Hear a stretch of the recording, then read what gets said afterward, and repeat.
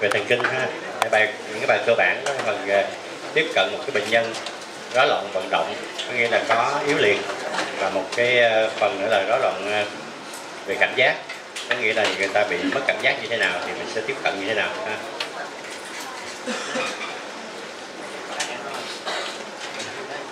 rồi thì trước khi mình uh, tiếp cận một cái bệnh nhân bị rối loạn vận động thì mình sẽ nhắc lại một số cái cơ sở giải phẫu sinh lý của cái hệ vận động của mình như thế nào, ha. thì hệ vận động của mình thì các bạn đã học giải phẫu rồi, đúng không?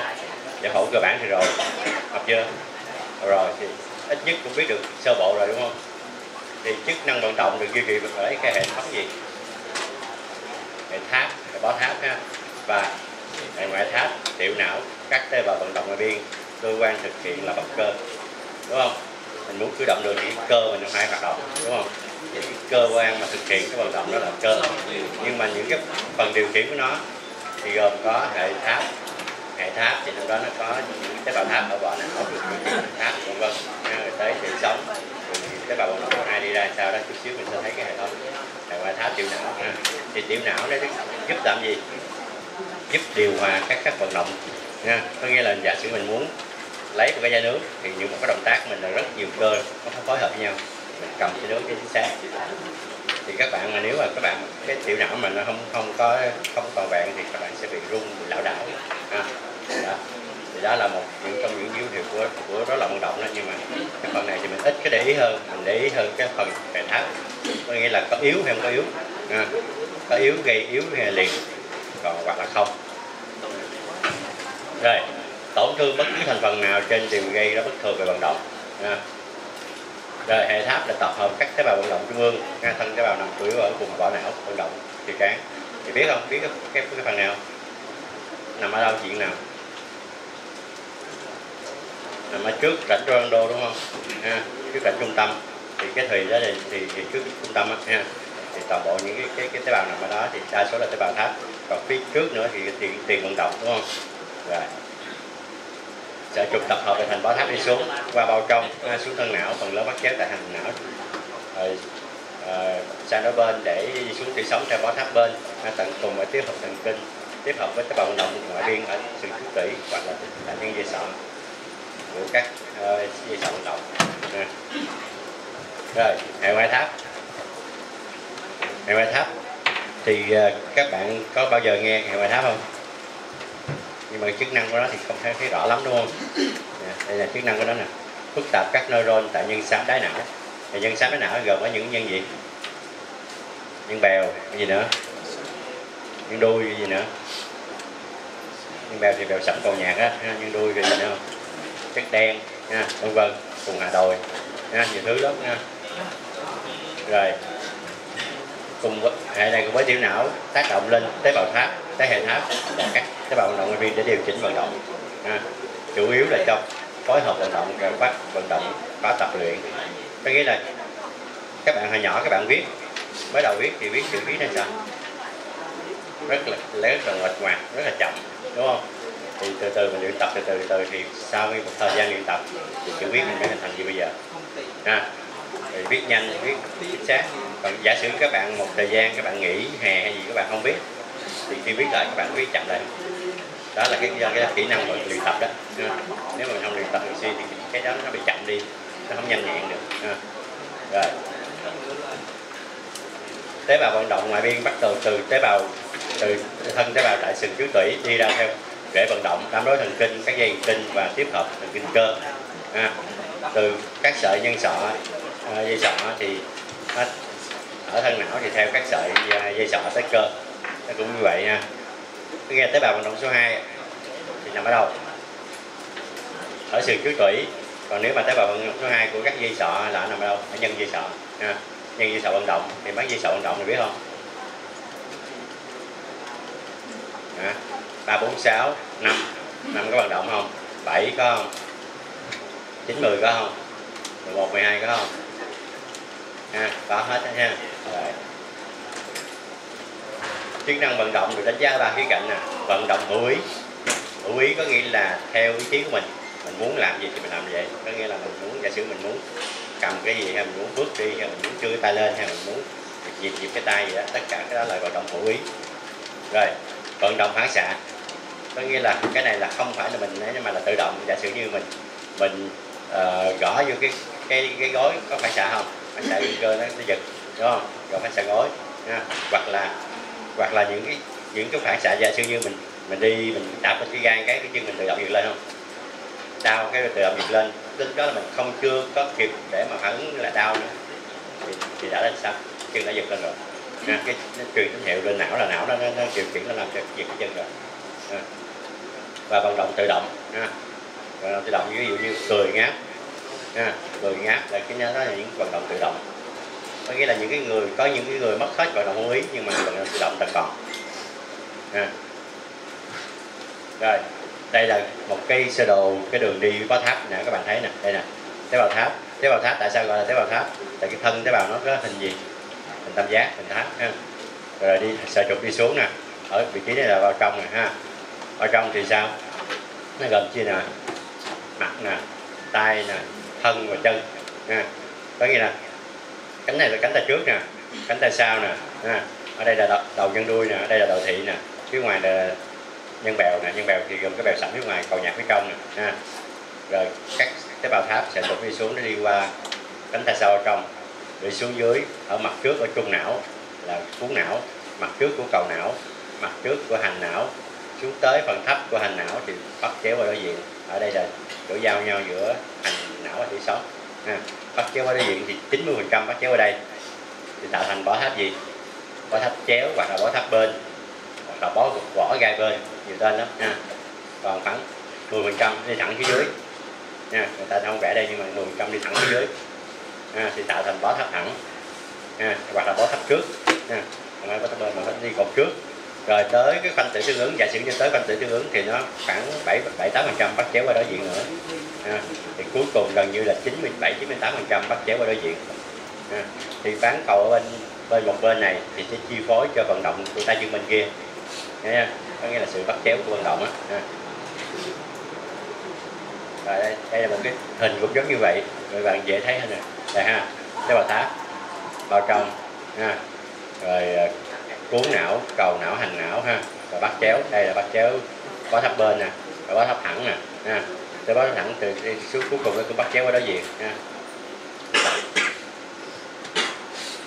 Rồi đây là cái cung phản xạ tủy ha. thì cung phản xạ là như thế nào? Giả sử một cái phản xạ đường vào là gì? Nhận cảm là cảm giác nè. Hướng tâm. À, đây là gì? Đây là cảm giác đúng không? Đây neuron cảm giác nằm đây thành cái sao đi vào sừng vào gờ rễ sau ha, tiếp hợp với một cái cái neuron trung gian và tiếp hợp với neuron vận động ở sừng cước rồi đi ra đáp ứng hướng di tâm là đi ra tới cơ. Thì khi một cái kích thích ở đây thì nó đi vào tủy xong rồi đi vòng trở ra lại đáp ứng ở cơ thì làm co cơ đúng không? Thì ta gọi là phản xạ. Cung phản xạ đơn giản. Rồi cung phản xạ căng thì sao? Cung phản xạ căng thì sao? Thì khi mà kích thích của đây thì bên này là co cơ. Thì nhất nó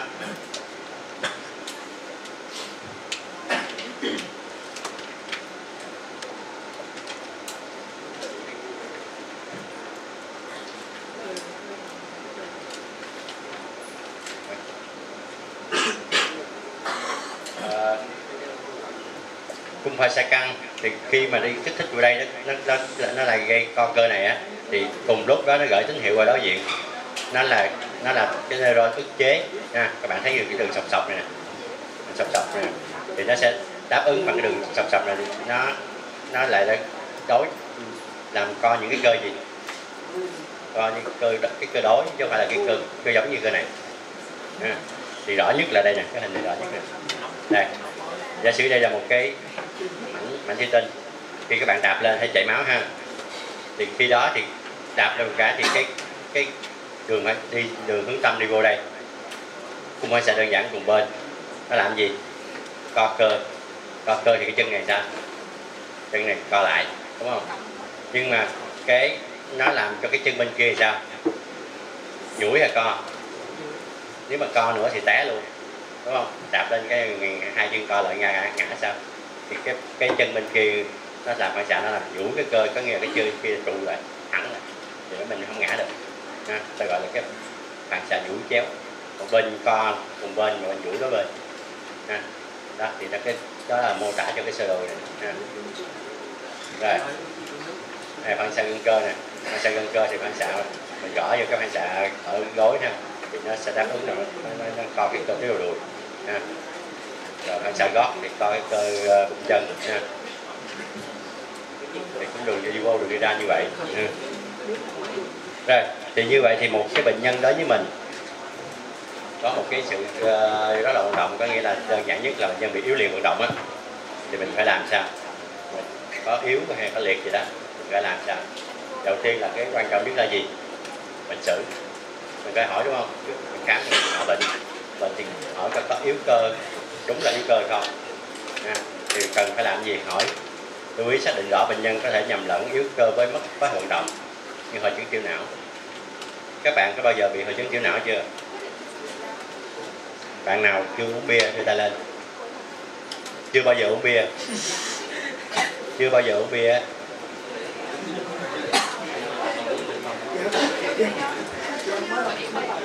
Không ai hết. Vậy là bạn nào cũng có uống bia rồi, đúng không? Phải không? Thì khi bạn uống bia vô thì các bạn thấy cái người đó có khác không? Cắt sao bạn nào một. Lúc mà các bạn đứng đi á nó nó có vững nữa không? Hả? Đi có vững không? Đi bắt đầu nó cảm giác hơi hơi hơi hơi nhẹ nhẹ nhẹ nó hơi lân lân lân cái cái người cái giống như giờ là bước thấp bước cao á thì gọi là đi lão đảo á. À, thì khi đó là bộc lộ cái hội chứng tiểu não đó. Nên có nghĩa là khi rượu bia vô đã làm ức chế tiểu não thì tiểu não mình nó làm điều khiển không chính xác nữa. Thì mình bị mất mất phối hợp vận động. Mặc dù là tay chân mình rất là mạnh bình thường không có yếu gì hết. Nhưng mà lúc đó mình làm không chính xác. À, giả sử như mình đi không đi thẳng hàng được người ta thường người ta bắt là cho phải đi trên một cái đường thẳng thử coi có đi còn thẳng hàng được hay không. Đi nói gót á, đi bước như còn nếu mà người nào mà mà đi mà đi mà có lệch chạy chạch chạy là cái chân đó là đang có uống rượu bia đó. Rồi là cảnh sát giao thông người ta nước ngoài đây kiểm tra cái đó. Tài xế xuống xong rồi cái đi đi thử coi đi xuống đường nếu mà ông nào mà đi là lão đảo đảo là cho đo nồng độ cồn liền nha. đó thì đó là hội chứng tiểu não. Thì như vậy thì không phải là yếu cơ đúng chưa? Có nghĩa là bệnh nhân đó không yếu cơ mà bệnh nhân bị mất có vận động. Rồi một cái thứ hai mà có thể lầm nữa đó là chậm chạp vận động Parkinson. Các bạn có gặp bệnh nhân Parkinson nào chưa? À, có những cái bệnh nhân mà đi cái tướng đi rất là đi nhích nhích nhích nhích nhích vậy này có không? Có nếu mà có gặp bệnh nhân hoặc là người nhà, người nhà hay là người thân mình mà biết người bệnh này thì các bạn sẽ thấy liền. Có nghĩa là người ta đi giống như là cái robot vậy, à, người máy vậy. Cái tay chân thì không có cử động đứng tráng đi thì đơ cứng vậy. Mặc dù là người ta không yếu nhưng mà cái sự chậm chậm vận động của người ta đã làm cho người ta không có có có vận động tốt được nữa. À, thì đó là trong cái thời chứng Parkinson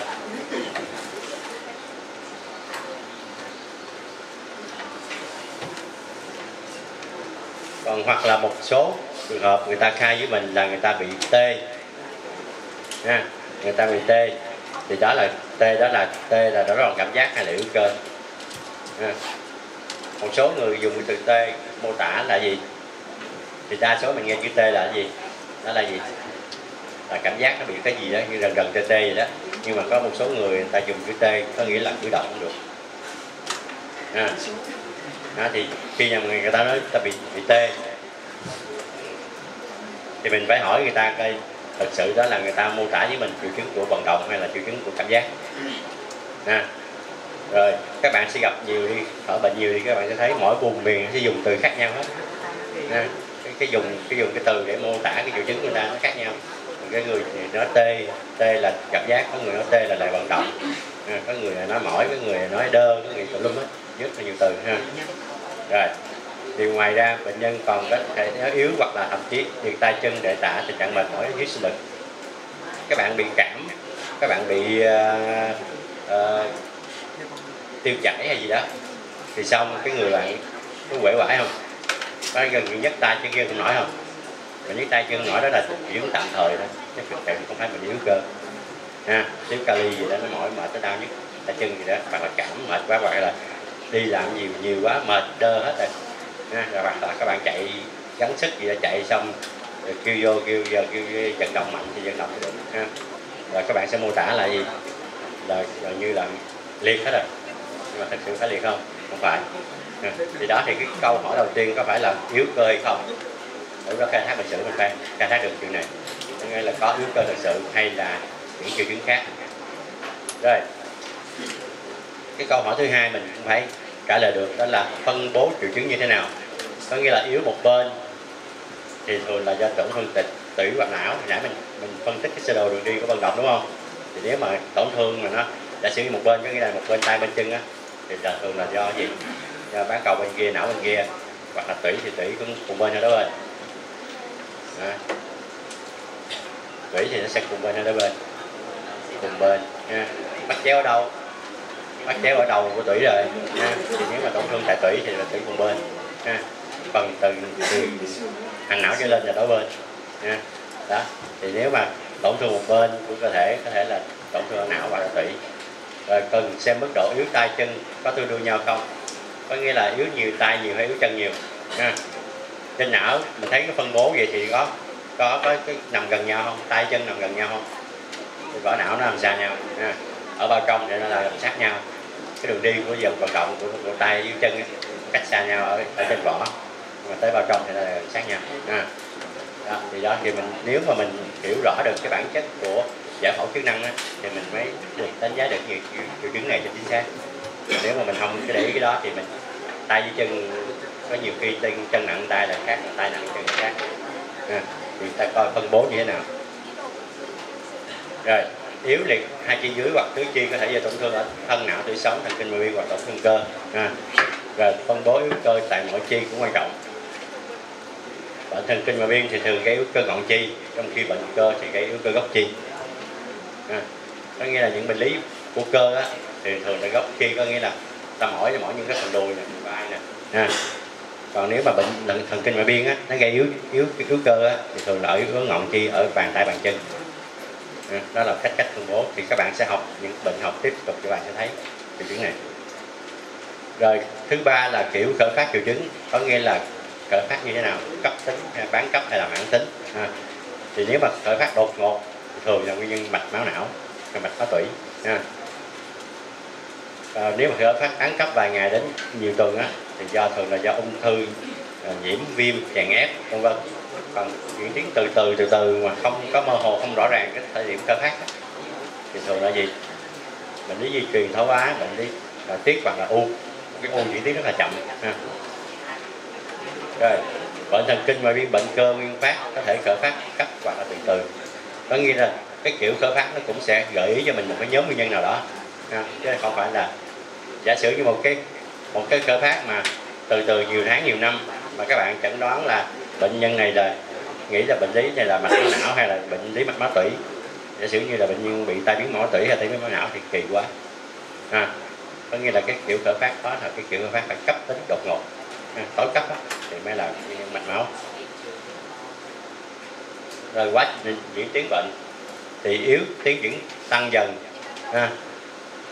từ lúc khởi phát chứng tỏ là quá trình bệnh vẫn đang tiếp diễn có nghĩa là bắt đầu là yếu từ từ từ hai ba ngày sau là yếu nặng hơn yếu nặng hơn rồi khoảng chừng từng tuần hay năm ngày sau thì là liệt hẳn rồi như vậy thì diễn tiến đó là diễn tăng dần đi. Còn nếu mà diễn tiến mà giả sử như yếu yếu xong rồi lại mai mốt lại phục hồi phục hồi xong rồi tuần sau lại yếu lại phục hồi hoặc là hai ba tháng sau yếu có một đợt yếu rồi sau đó được điều trị nằm viện gì đó hoặc là phục hồi lại nhưng mà vẫn còn yếu. Nhưng mà mỗi lần yếu thì nó có thể tăng lên chút tăng lên chút vậy gọi là theo, theo kiểu bậc thang thì là khác. Hoặc là diễn tiến một cái diễn tiến đi lên hoặc diễn tiến đi xuống khác. À, thì đó mình phải hỏi diễn cái cái cách diễn tiến của nó như thế nào. À, một số triệu chứng kèm theo như là đó là cảm giác đau rễ đau tại cột sống vân vân những triệu chứng của của não của bán manh của tổn thương vỏ não những cái tổn thương của các dân dây sọ vân vân à. bệnh lý chỉ gây triệu chứng vận động đơn thuần mà không có lòng cảm giác thì gặp tổn thương nơi vận động sườn trước tủy nha sơ cục bên cơ tổn thương tiếp phần kinh cơ tổn thương tại tại cơ thì bệnh cơ viêm cơ vân vân thì đó là yếu đơn thuần không có chuyển cảm giác á. có thể có những nguyên nhân này về tiền sử á, thì các bạn khai thác tiền sử bệnh tiền sử phát triển và trẻ em và tiền sử gia đình ha. có nghĩa là mình chia làm ba nhóm nếu mà ở trẻ em thì mình mình phải khai thác uh, tiền sử phát triển luôn có nghĩa là uh, mẹ mang thai bao nhiêu tuổi mẹ mang thai mang thai được bao nhiêu thì, thì sanh sanh sớm hay là sanh đúng ngày sanh thường hay sanh mổ sanh có ngạt hay không rồi lúc sanh ra thì có vàng da hay không nghĩa là nếu mà các em thì lại mình phải hỏi với chu sinh phát triển rồi từ lúc uh, sanh ra tới lúc ừ, bây giờ để phát triển như thế nào vân vân. Ha. có nghĩa là biết đi bao lâu biết bò bao lâu biết lật bao lâu vậy đó phải hỏi hết. Thì nó mới ra được. Thì mình bây giờ mình thấy thì nó mơ hồ nhưng khi mà mình đi từng bệnh từng bệnh từng bệnh rồi thì cái những cái phần này mình sẽ tổng hợp lại mình hỏi cho nó nó, nó rõ ha. Rồi sau khi hỏi bệnh sử xong thì mình sẽ khám đúng không? Thì khám hệ vận động thì mình gồm khám những cái phần nào? Khám dáng đi, đứng. Ha. bệnh nhân còn đi là được, đánh giá tư thế, đứng dáng đi và các cử động tự động. Ha. nhìn bắp cơ. Coi có teo cơ không bị đại cơ hay không rung giật bó cơ hay không? Rồi dinh dưỡng cái vùng da, cái mà mà yếu cơ đó, có bị ảnh hưởng gì không? Rồi khám chưa được cơ. Thì mấy cái phần khám này các bạn đã học, chưa lép rồi, đúng không? Học chưa? Học rồi, nha. Rồi chưa được cơ, sức cơ. Ha, đánh giá sức cơ là đánh cái là ờ, theo độ, phân độ là Ờ, 5 trên 5 hay 4 trên 5 yếu thì 4 trên 5 3 trên 5 2 trên 5 1 trên 5 là 0 trên 5 là liệt hoàn toàn ha. Rồi phối hợp vận động ha những cái cử động phối hợp vận động. Giả sử như gì? Phối hợp vận động các bạn học rồi khám gì? Biết nghiệm pháp ngón tay chỉ mũi không? Đó, đó là phối hợp vận động có nghĩa là đưa ngón tay ra chỉ vô đỉnh mũi hoặc là chỉ vô một cái ngón tay của mình chỉ qua đỉnh mũi có đúng không? Làm cái chính xác không? À, rồi coi cái trên cái cách làm người ta có cái chọn chọn chọn chọn đảo đảo vậy không à, nếu mà bệnh nhân tiểu não thì có độ bộc lộ ra đảo. À. rồi khám phản xạ. À. rồi khám các phản xạ nguyên phát phản xạ non phản xạ tháp vân vân. Rồi sau khi hỏi bệnh sử xong à, khám xong thì bắt đầu mình định vị tổn thương. Tổn thương cái định vị nằm ở đâu ở đâu ha. thì tất cả các phần khai thác bệnh sử tiền sử khám thì phối hợp lại. Thì cái kỹ năng từng kỹ năng một, kỹ năng mà khai thác bệnh sử tiền sử, các bạn phải đạt được. Tại vì đạt được cái kỹ năng này đó, thì các bạn mới mới mới, có nghĩa là từng mặt bệnh các bạn sẽ hỏi nhanh và các bạn hỏi chú trọng chỗ nào cần thiết. Chứ còn bạn hỏi mà thiếu một số chi tiết mà cần thiết để biện luận phía sau thì không được. Rồi, cái thứ hai là kỹ năng khám. Kỹ năng khám thì phải đạt được kỹ năng khám. Còn nếu mà không đạt được thì cũng không phát hiện triệu chứng được. Ha, triệu chứng thần kinh có nghĩa là đúng và đủ có nghĩa là bệnh nhân có bao nhiêu triệu chứng thì mình phát hiện ra hết thì được. Chứ còn phát hiện dư có nghĩa là người ta không có mà mình nói có mình chẩn đoán cũng không được. Hoặc là người ta có mà mình phát hiện không ra thì mình không ghi nhận cũng không được luôn. Thì cái kỹ năng hỏi bệnh kỹ năng khám bệnh phải đạt được. Thì khi hai cái kỹ năng đã đạt được rồi thì mới tới cái kỹ năng này. À, kỹ năng này là kỹ năng gì? Kỹ năng phân tích biện luận phân tích.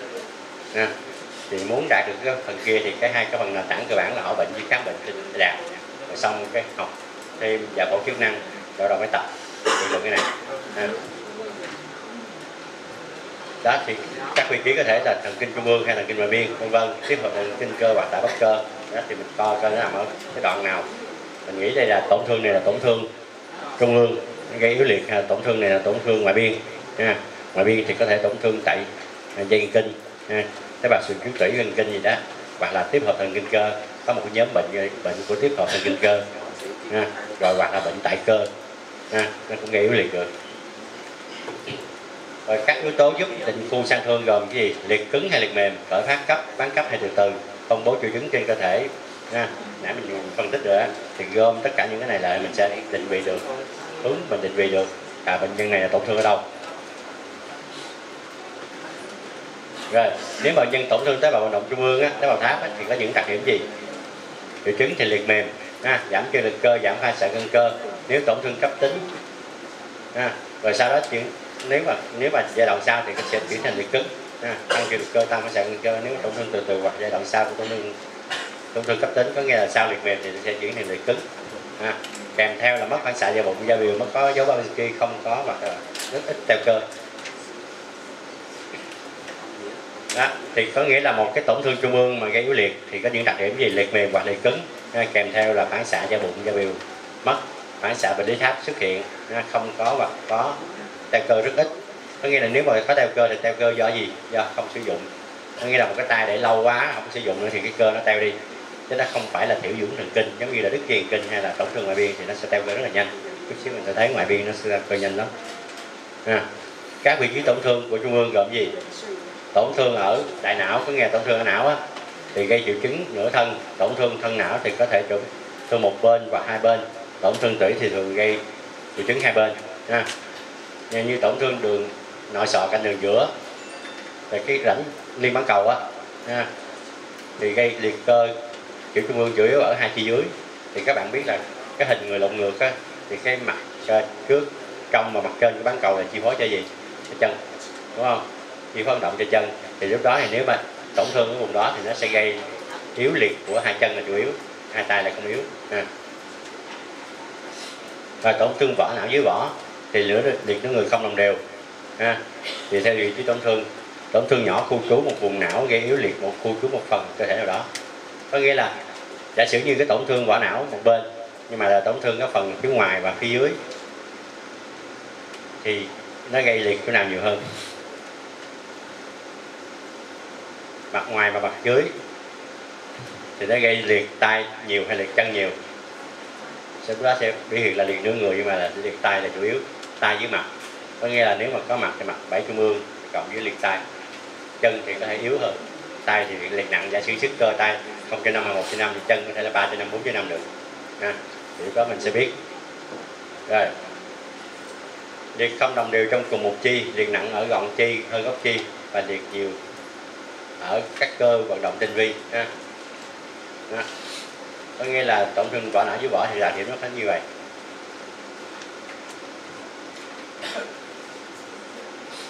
Thường kèm theo các dấu hiệu khác của tổn thương vỏ não như là rối loạn cảm giác à, có thể có bắn manh đồng danh à, có mất ngôn ngữ có rối loạn thị dứt nhận thức thị giác không gian sơ đồ thân thể vân vân. Có thể có động kinh cục bộ à. rồi riêng trường hợp tổn thương lan rộng ở vỏ não dưới vỏ gây yếu liệt đều cả tay và chân mặt à, và mặt đối bên à. có thể có kèm rối loạn ngôn ngữ nếu mà tổn thương bán cầu ưu thế à. rồi tổn thương thị trường rối loạn cảm giác giữa vỏ não phản ứng cuồng não gây nhiều cái chèn ép tới bên thì bắt đầu gây rối loạn thức tỉnh có nghe bắt đầu ảnh hưởng đến tri giác bệnh nhân nghe là bệnh nhân có thể là lơ mơ hoặc là ngủ gà nặng hơn theo đâu hôn mê ha À, tổn thương bao trong nãy mình thấy rồi bao trong thì sao giống như cánh cửa hẹp đúng không à, nếu mà thường á, thì là tất cả sợi trục vận động đi ngang đây ở cánh tay sau bao trong nếu mà tổn thương bao trong thì thường là gây liệt cầm đều. Nhớ nha thường là gây liệt cầm đều chứ không phải là hoàn toàn gây liệt đều nha. Rồi liệt vận động đơn thuần trong trường hợp tổn thương bao trong liệt kèm rối loạn cảm giác giảm cảm giác tăng cảm giác đau muộn à, trong tổn thương bao trong đô thị. Kèm mất ngôn ngữ dưới vỏ nếu có tổn thương thể vân ha, và kèm mắt bắn manh khi tổn thương tia thị ha, đây là những cái tổn thương bao trong có thể có. Có nghĩa là thường là liệt đồng đều. Có một số trường hợp khác có thể là liệt đơn thuần một tay hoặc là một chân ha, hoặc là kèm theo đó là cảm giác như vậy hoặc là đó là ngôn ngữ như vậy ha. rồi tổn thương thân não. Thì thân não thì nó có gì? Liệt thứ chi nếu mà tổn thương lớn kèm theo là đó là cảm giác bất thường dây sọ và mất thân bằng. Các tổn thương cô trú á, thì sẽ gây tổn thương dây sọ cùng bên và liền những người đối bên. À, thì cái này các bạn bây giờ các bạn đọc về các bạn sẽ không có hình dung không có hình dung nổi là tại sao. Tại các bạn chưa có lâm sàng. À, đấy mới là lý thuyết suông thôi. Thì khi các bạn đi lâm sàng rồi các bạn gặp những cái bệnh nhân mà có những triệu chứng như vậy các bạn lật sách ra lật bài ra coi lại. Kiểu đó các bạn sẽ thấy rồi mình mình mình, để cái gì còn bây giờ các bạn nghe gì các bạn sẽ không nhớ. Có nghĩa là không có định hình được là chỗ, chỗ đó vị trí đó nó có cái gì cái gì cái gì. Những chức năng nào. Thì lúc đó mình không có định vị được mình không có mong luôn mình không có hiểu được. Còn khi mà mình gặp bệnh nhân thực tế rồi á mình khám mình thấy ở bệnh nhân có những triệu chứng giả sử như bệnh nhân có tổn thương dây sọ như vậy vậy thì mình coi cái bệnh nhân này tổn thương dây sọ nằm chỗ nào vị trí nào rồi xung, xung quanh nó có cái gì. Như vậy thì nó có những cái triệu chứng kèm theo là gì? Có phù hợp hay không? Không phù hợp điều đó mình sẽ định vị được cái cái cái, cái tổn thương đó. Chứ còn bây giờ mình giờ các bạn nói rồi thì các bạn cũng nhớ. Thì thôi cứ đọc bài đi rồi thực tế lâm sàng. Thì các bạn đi lâm sàng các bạn đi ở đâu? Khi các bạn đi lâm sàng thì các bạn đi ở đâu? Ừ? thủ đức. Bệnh viện thủ đức. Ở đâu nữa? Nhưng mà có đi khoa thần kinh không? Hả? Rồi chuyện nào mới đi. Nhưng mà chị đây tới đó thì các bạn nhớ không? Nhớ gì sao mà học? Tới đó bữa trơn rồi, còn gì nữa mà học về học về học thì đi xuồng ra thứ chai vậy hả? Thì các bạn học bên bên các bạn học cái cái cái cách học module thì nó cũng có cái hay của nó có nghĩa là học toàn bộ về cái hệ thần kinh hết. Thì hay. Ở bên uh, trường đại học y dược thì sẽ học theo kiểu tín chỉ có nghĩa là học để sĩ học giải phẫu học sinh lý học ờ, nhiều phần nhiều phần gì đó. Học thần kinh thì năm thứ năm mới học. Học uh, đi thực tập 4 tuần.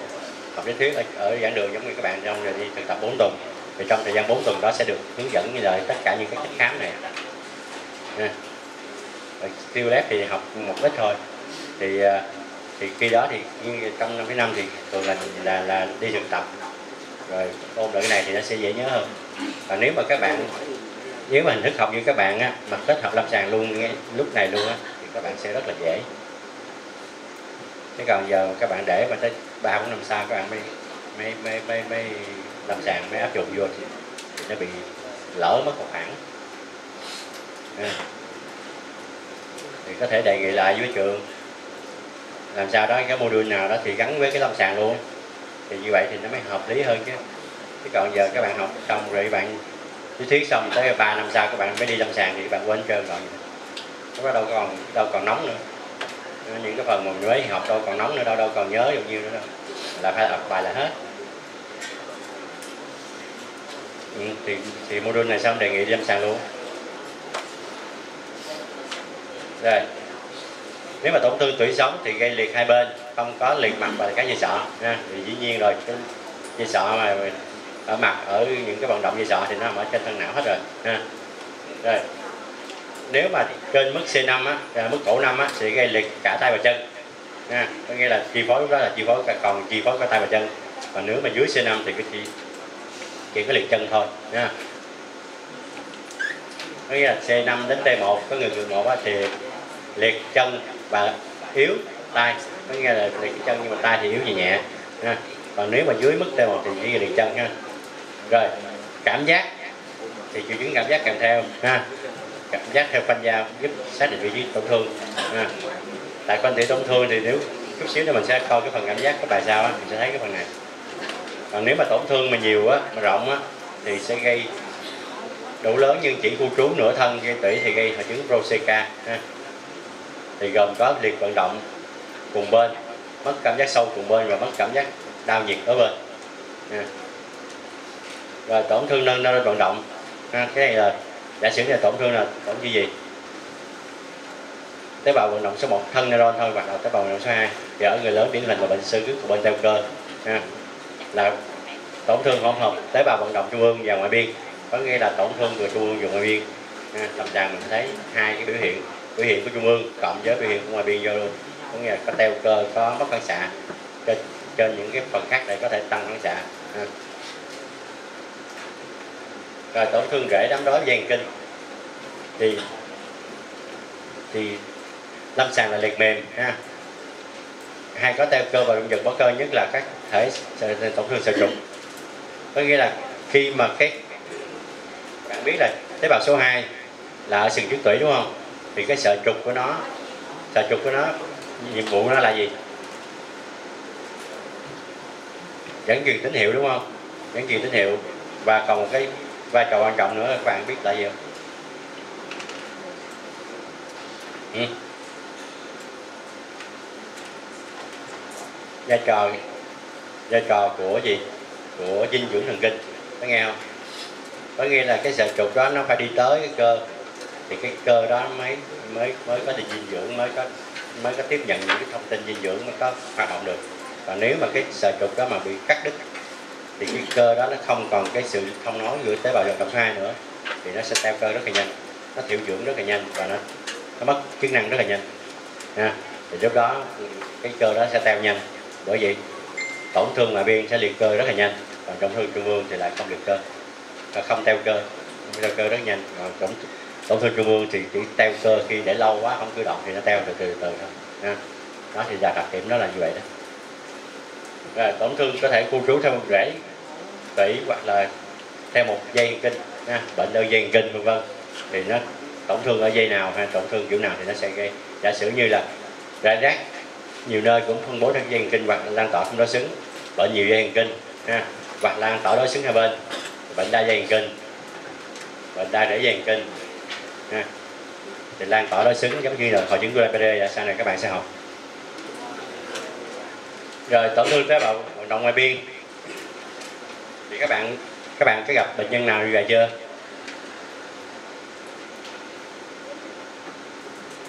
Bây giờ thì ít rồi. Bây giờ đã ít rồi. Hồi xưa thì nhiều hơn. Hồi xưa mấy người mà mà di chứng số bại liệt các bạn thấy không? Đó thì đó là cái thời mà số bại liệt nó còn còn còn nặng á. Có nghĩa là chưa có vaccine á, chưa có uống sabin số bại liệt á, thì bị nhiều bị nhiều thì bắt đầu tổn thương tế bào rộng số 2 thì gây teo cơ khu trú từng chật từng chi một, nha. Giả sử như có thể liệt hai chi dưới, hoặc là liệt một tay một chân, hoặc có nhiều người liệt cả tay tới chi luôn. Nhưng mà teo nhỏ không, cái chân nó nhỏ không. Giả sử cái chân nó nhỏ xíu mà nó nó hoặc vẹo vẹo là có nghĩa là nó nó không có cơ nữa, mất cơ luôn ha tế bào ngoài biên nè mất cơ luôn. Ha teo nhỏ không phải xài gì hết đó, đó là tổn thương tế bào động ngoài biên á. Rồi đây là một cái số biểu hiện của bệnh bệnh lý mà đa dây kinh hay đa rễ dây kinh á. Thì cái kiểu phân bố của cái cái cảm giác nè bệnh đa dây kinh nhẹ thì nó nó kiểu mang găng mang vớ ở bàn tay bàn chân chút xíu rồi chút chân xíu. Còn nếu mà đa dây kinh trung bình á thì đầu nó dị cảm nó lên tới tới gối ha ở bàn tay. Còn nặng thì có thể dị cảm nó gần nửa thân người luôn và bàn tay mình tới tới tới biểu và tới vai luôn ha. Có nghĩa là cái kiểu mà rần rần dị cảm ha. rồi đây là một cái bản uh, ờ, gọi là so sánh giữa liệt trung ương và ngoại biên. Thì như thế nào? Liệt trung ương á, thì liệt mềm giảm phản xạ gân cơ à, giảm chịu lực cơ mất phản xạ da bụng da biểu dấu bệnh lý tháp không có rung dịch bó cơ chỉ cơ theo nhẹ và muộn do không sử dụng. Thường có rối loạn cơ vòng rối loạn cảm giác à, theo phanh và khảo sát điện thì không có thường. Còn liệt ngoài biên thì có những cái đặc điểm ngược lại nha. À, liệt mềm máy máy dạ da bụng da biểu thường còn không dấu hiệu bệnh lý tháp. Teo cơ thì sớm rung giật bó cơ nha. Không rối loạn cơ vòng rối loạn cảm giác phân bố tương tự như triệu chứng vận động nha khảo sát điện lý thần kinh có nghe đo điện cơ là có bất thường. Nha. Rồi một cái bệnh nữa đó là bệnh dẫn truyền tiếp hợp thần kinh cơ. Ha. thì điển hình nhất là bệnh gì? Bệnh nhược cơ ha. Bệnh nhược cơ thì đó là trương lực cơ bình thường hoặc giảm. Trương lực cơ bình thường nếu mà sức cơ nó không giảm nhiều lắm á, thì xương cơ bình thường. Còn nếu mà sức cơ giảm nhiều quá thì cái cung phản xạ nó cũng bị ảnh hưởng có nghĩa là cung phản xạ nó là bình thường, nhưng mà bây giờ cái tiếp hợp nó nó block ngang đây thì thì ờ, cái phản xạ nó cũng sẽ giảm đi, ha. nếu mà liệt nặng quá thì nó cũng giảm đi rồi không có đo cảm giác, yếu cơ thường phân bố rải rác, không theo phân bố của một rễ, một dây kinh nào hết, ha. đặc điểm quan trọng nhất đó là yếu cơ dao động, ha. tăng khi gắng sức, giảm khi nghỉ ngơi có nghĩa là dao động trong ngày có buổi sáng thì thì khỏe cưa cưa chút thì nặng, hoặc là khi làm gì chút thì nặng hơn yếu nhiều hơn. Hoặc là nếu mà yếu cơ hồng họng thì chỉ cần người ta nuốt hoặc là nói lát là tự động bắt đầu cái giọng nhỏ nhỏ nhỏ nhỏ, nhỏ là nó khàn đi nha hoặc là mắt thì đi ra đường đó, bình thường đó, mắt phải chớp chớp ra đường chói quá như như, như, như hồi là bắt đầu mắt sụp xuống luôn nha. đã sử như cái người sụp mi hoặc là cái người mà bị liệt vận nhãn á bị hiện nhiều cơ mà do liệt vận nhãn á thì ra nắng một chút là bắt đầu cái, cái mắt nó sụp xuống hoặc là song thị rõ ràng luôn ha à, bệnh cơ thì yếu cơ chủ yếu là ở nhóm cơ gốc chi có nghĩa là ở gốc những cái gốc đai đai đai hông đai vai thôi ha thì người ta thường là ta đi cái dáng đi người ta dáng đi dáng đi là là bạch là bạch á ha có nghĩa là cái phần chân dưới tốt nhưng mà cái phần chân này ấy, người ta ngồi xuống đứng dậy là không được người ta phải chống người ta, ta cổng cái mông lên người ta mới đứng ra được tại cái cái cơ đùi đẩy lên nó đẩy không được ha thì người ta phải hoặc là có người dịnh hoặc là người ta đứng gần bàn tay nắm tay ta kéo lên thì ta mới đứng ra được ừ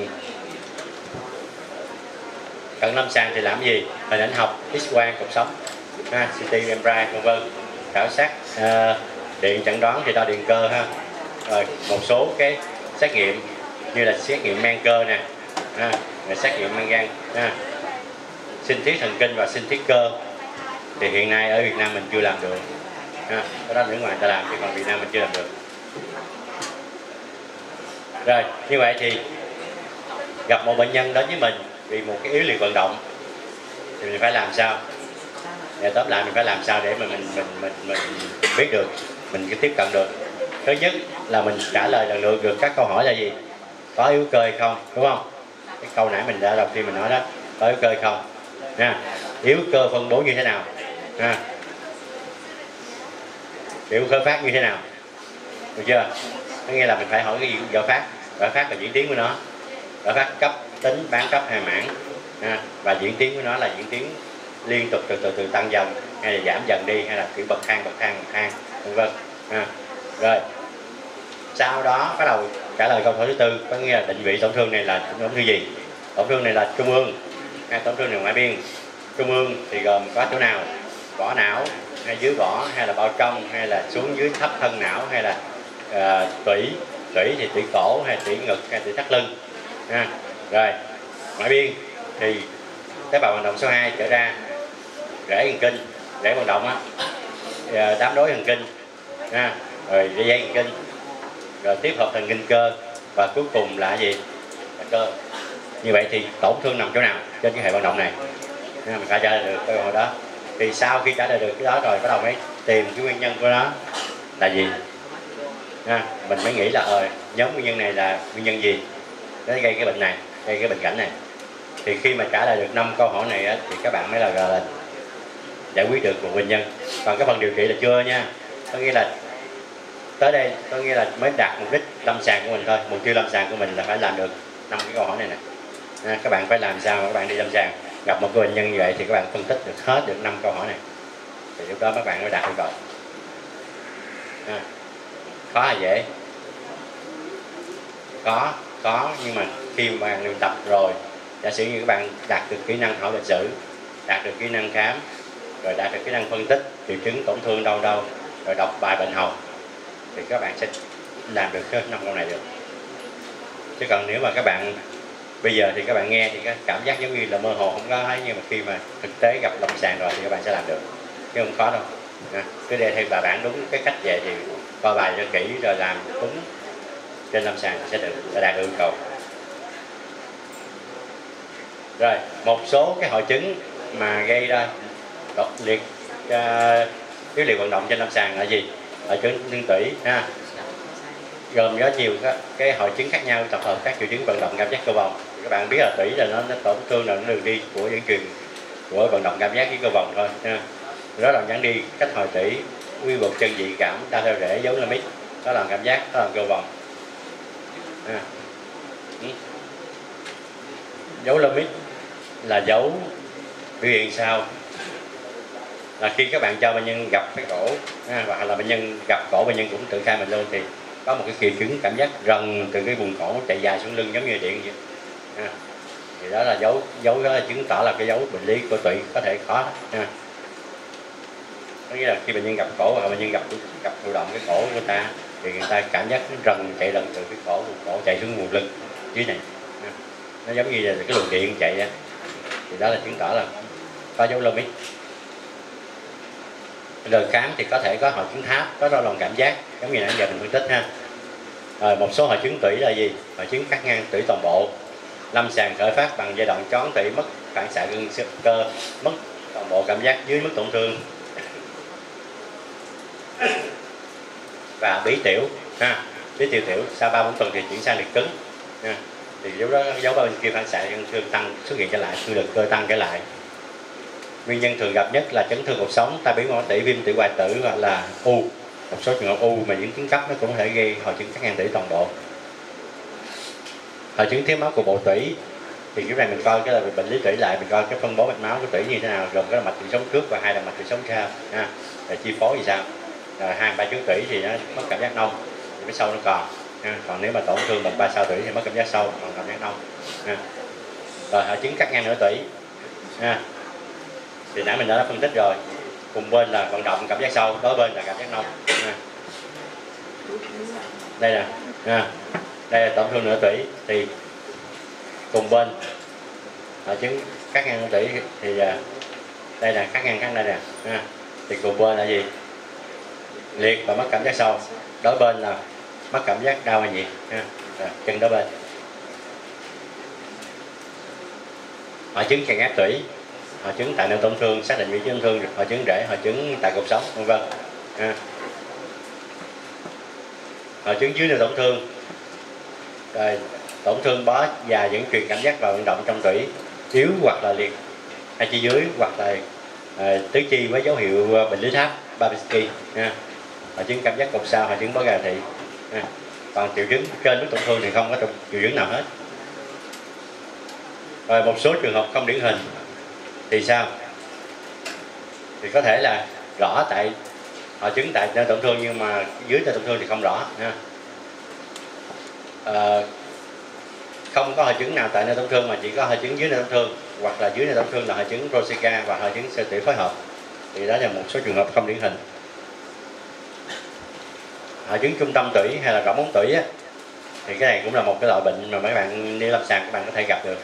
Ha. thì mất cảm giác keo và phân ly cảm giác. Có nghĩa là sao? Đây là cái hình đây tổn thương nằm đây nè tổn thương trong cái vòng màu tím thôi. Thì nó mất cái cái đường dẫn truyền cảm giác đau nhiệt này nè. Thì lúc đó thì biểu hiện là gì? Bị mất cảm giác đau nhiệt ở một vài thanh tỉ tương ứng với tổn thương. Có nghĩa là phía trên thì bình thường phía dưới thì bình thường nhưng mà có đoạn giữa nó bị mất cảm giác ha, gọi là mất cảm giác keo keo là nó đoạn lơ lửng lời cái giữa vậy ha, chứ nó không. Bình thường nếu mà tổn thương đấy thì mất cảm giác từ từ đó thì xuống hết luôn không? Đoạn này nó mất cái đoạn một đoạn thì đoạn dưới là bình thường lại ha. rồi hội chứng sừng trước thì biết rồi phải không? Dạ, nhà bệnh bệnh bệnh ờ, gì? Số bài liệt á nha. Rồi hội chứng cột sao đơn thuần ha. Rồi hội chứng sơ tử kết hợp. Cận lâm sàng thì làm gì? Trên một cái bệnh nhân có cái cái hội chứng tủy vậy. Hội chứng mà mà cắt ngang tủy vậy. Thường quy thì công thức máu ờ, à, cái thành chẩn đoán văn mai với bằng phổi à, với bằng cột sống tập trung tại nơi cái nơi mà mình nghĩ tổn thương á. Giả sử như mình nghĩ tổn thương đó là tổn thương ờ, à, tủy ngực thì mình chụp cái cột sống đoạn ngực ha, coi coi bệnh nhân. Cái trên cái hình x quang coi cái xương nó có bất thường gì không? Có những cái hình ảnh gì của của quỷ xương không? Có những những gì của liên nghĩ đến lao không? Nha ca sĩ lao phổi hay lao cột sống gì cùng đó không? Cái áp xe mờ gì đó không? Nha. chụp cầu hướng từ nha. chụp mạch máu nha, thì vân vân. Thì những cái này thì các bạn sẽ học sâu hơn thì các bạn sẽ biết được cái kỹ thuật nào cần thiết cho cái nào. Rồi. Thì các bạn có có có, có thắc mắc gì trong cái bài mà điều vận động hoặc đặt câu hỏi gì thì cứ hỏi ha. Có nghĩa là tiếp tiếp cận một bệnh nhân yếu liệt vận động như vậy đó. Nó rất là nhiều. Nó mênh mông lắm chứ nó không có ấy nhưng mà khi mà các bạn biết được cái gọi là cái cái phần cái, cái hướng dẫn cơ bản á, thì các bạn sẽ làm từ từ từ sẽ làm được. Chứ không khó.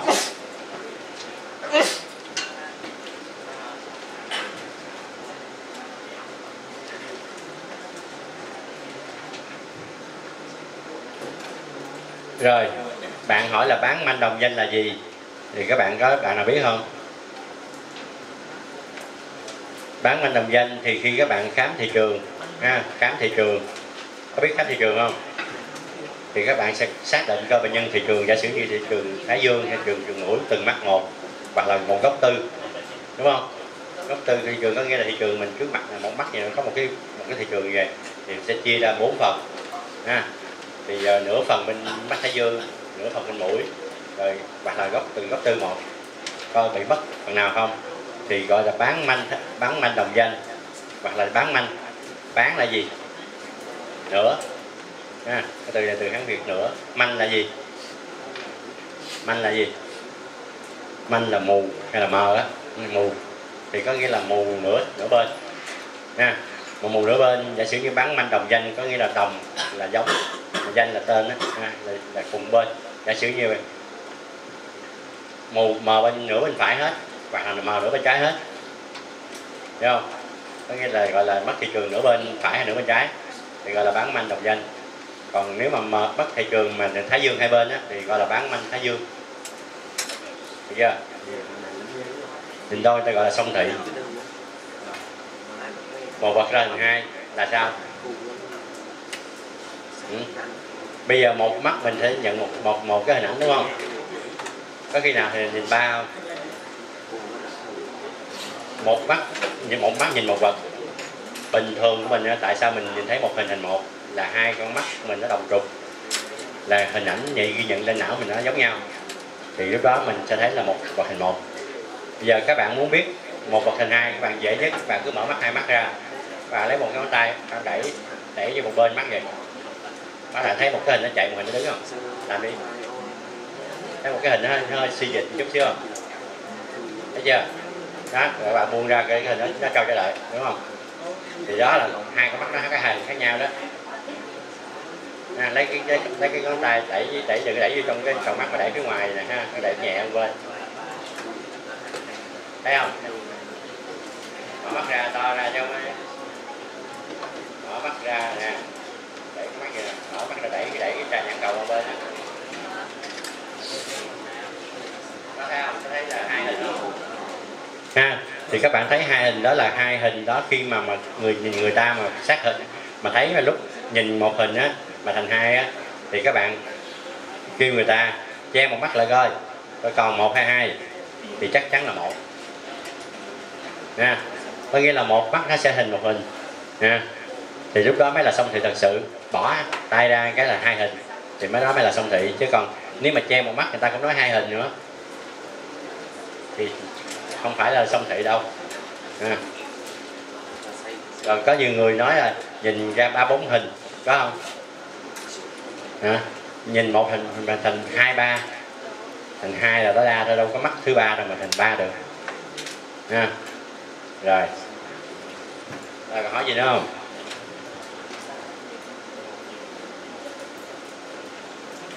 liệt trung ương bạn hỏi là giai đoạn cấp giai đoạn nặng á, thì là liệt mềm, sau đó chuyển sang liệt cứng. Thì các bạn biết là cái phản xạ gân xương, cái cơ lực cơ nó chi phối của cái gì? Của cung phản xạ tủy, đúng không? Thì cái liệt cơ mương có phải là liệt ở trên não và cái đường dẫn truyền xuống của nó không? Trước khi tới tế bào vận động số 2 thì như vậy thì khi giai đoạn cấp, tính giai đoạn nặng á, thì cái cung phản xạ dưới này nó bị bình thường á, là cái tế bào số 1 nó kiểm soát cái cung phản xạ này. Được chưa? Nó kiểm soát cung phản xạ này, thì khi cái tế bào số 1 hoặc cái đường đi của nó bị tổn thương, thì cái cung phản xạ này nó bị mất mất chủ. Có nghĩa là nó không còn chi phối nữa, không còn trung ương chi phối nữa. Thì cái giai đoạn đó, giai cơ nó liệt. Nó không có phản xạ gì hết, là liệt mềm, mất phản xạ. Rồi sau đó một thời gian thằng chủ nó không có phục hồi lại. Thì thằng này nó tự rộng nó đau nó tăng. Nó hoạt động, cái cung phản xạ nó vẫn hoạt động bình thường. Rồi nó từ từ nó tăng, dần dần, tăng dần lên. Thì cái gọi là cái cái phục hồi đó nó thoát ức chế nó sẽ tăng phản xạ lên và nó tăng kêu lực cơ lên. Thì bắt đầu chuyển thành liệt cứng. Giai đoạn từ 2, 2 đến 4 tuần sau bắt đầu chuyển từ từ liệt cứng. Giai đoạn đầu thì liệt mềm có nghĩa là mềm nhũng ra mất phản xạ trơn sau đó bắt đầu chuyển thành liệt cứng. Còn liệt bãi biên thì chắc chắn là không bao giờ có liệt cứng. Nhớ vậy.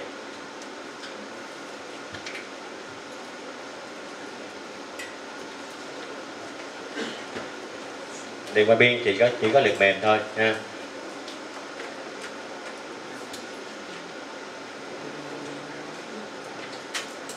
rồi, còn gì nữa không? Buổi sáng này các bạn học có 2 giờ thôi, chứ không? Ừ. rồi, còn bài sau thì giờ mình nghỉ lát đi ha.